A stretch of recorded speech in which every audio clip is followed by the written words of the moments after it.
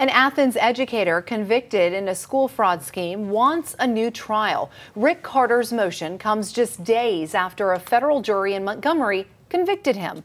Let's go to WAAY 31's Nikel Williams now with a look at why Carter says he's due a new trial. Nikel?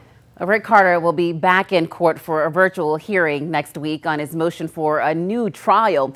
Carter alleges two key witnesses lied on the stand about his involvement in the multi-million dollar scheme where two former school superintendents pleaded guilty.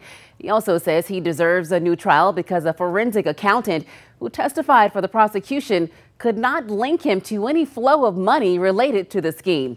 Carter says what the government did prove was that, that he simply handled fraudulent student data and helped to put it in a database. Carter's attorneys say that does not elevate him to a knowing, willful conspirator. Prosecutors wrapped up their 24 page motion with the question who enters into a multi million dollar conspiracy for zero money. It'll be up to the federal judge who presided over Carter's trial and resulting guilty verdict to decide if he gets a new trial.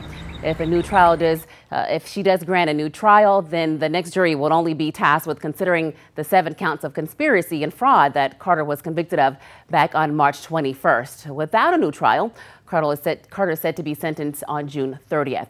In studio, Nikel Williams, WAAY 31 News.